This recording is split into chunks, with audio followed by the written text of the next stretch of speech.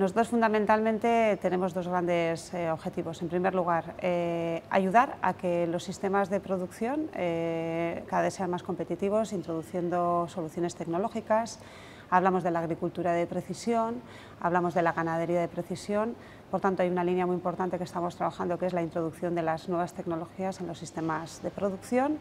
bien para mejorar el rendimiento, pero una cosa muy importante y es cómo todas estas actividades también eh, tienen que adecuarse a que el impacto ambiental eh, sea menor. Y también eh, todo lo que tiene que ver con nuevas cosas, nuevas oportunidades, nuevos cultivos, cultivos de más, más, valor añadido, cultivos que el consumidor está demandando y todo lo que tiene que ver también con la mejora de la genética de las plantas y también todo lo que tiene que ver con la mejora de la genética en, en los animales.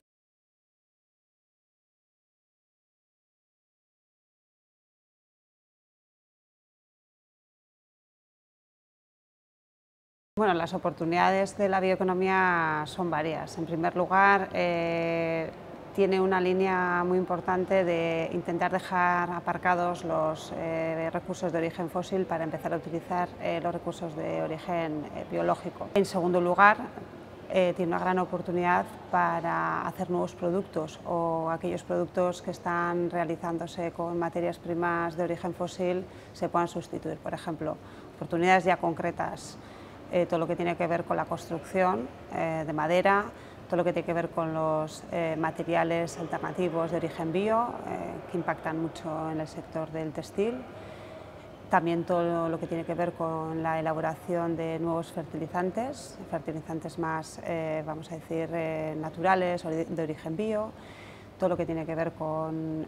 la minimización en el uso de los plásticos de origen de la química tradicional, por tanto, las, oportunidades de la bioeconomía, eh, por un lado, eh, ayudan a que la economía tradicional se transforme, pero en segundo lugar sí que eh, abren un abanico de nuevos negocios y de nuevas soluciones al mercado que, que antes no estaban y que ahora pueden estar.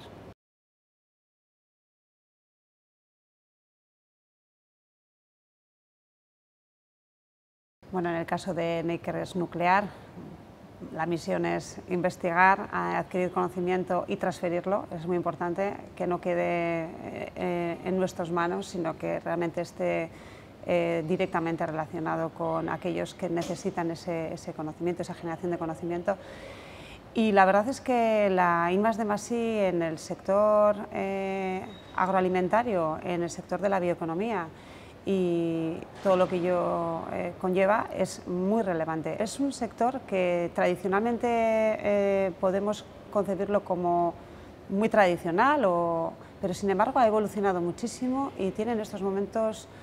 una proyección de transformación bastante importante. La intersección de las nuevas tecnologías, la intersección y la potenciación de la biotecnología, la importancia de producir alimentos en cantidad suficiente, de manera segura, saludable, con un impacto ambiental el menor posible. Por tanto, eh, es un sector que históricamente ha tenido muchos avances en investigación y en desarrollo, pero al que se le prevé una transformación y una aceleración de la innovación y de la investigación eh, muy significativa.